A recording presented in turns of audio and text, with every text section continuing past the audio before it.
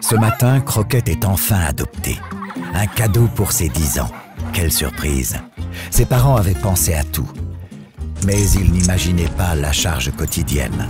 Les promenades, même sous la pluie, ses besoins d'attention, d'affection, de jouer, de tisser des liens sociaux. Un animal est doué de sensibilité et éprouve des émotions. Ce n'est pas un jouet à ranger, il est à vos côtés pour la vie entière. Il s'appelle Ringo, Crabble ou Croquette. Ils sont bruxellois et nos meilleurs amis pour la vie. Prenons-en soin.